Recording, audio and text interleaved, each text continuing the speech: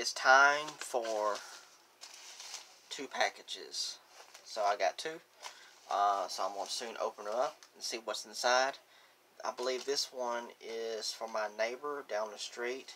And this one, I believe, is is a magazine that I needed.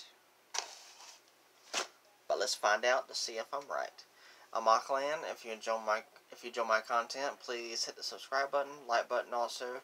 Share with share with friends if you don't mind. Also, please comment, ask me a question, or comment in general. I'll do my best to answer them. Also, if you don't mind, hit the notification bell down below, and you will be notified when I go live or upload another video. Sometimes I can't get my words out. Don't know why. Um, let's see.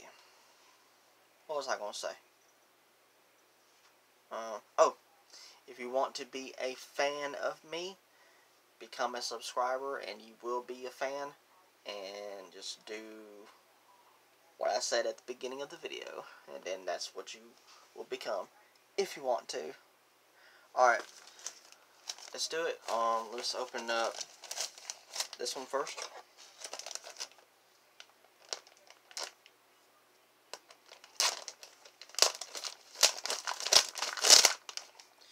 Yeah, I believe this is a magazine.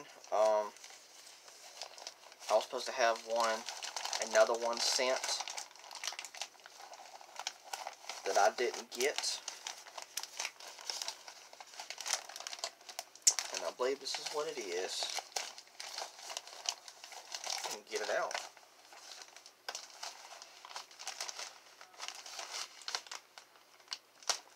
got it. Set that down.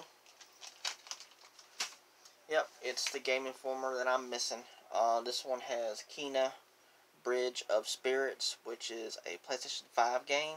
But what I found out was I thought this was exclusive to PS5, but apparently it's coming to PS4 as well, which is so messed up. Yep, Kena Bridge of Spirits right there on the back.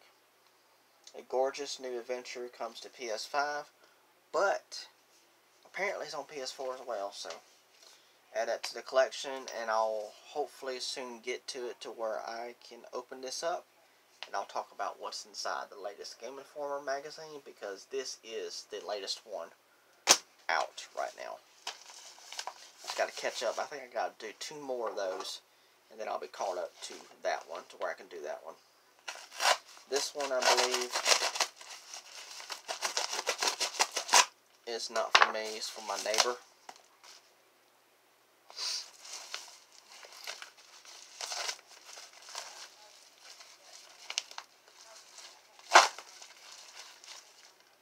Yep, it is. It's Leprechaun Returns on DVD. Yeah, because this is the reboot that they had made. Because the original films uh, had Warwick Davis as the Leprechaun, and the reboot doesn't. So yeah, looks fine, looks good. Back to Shamrock, your world.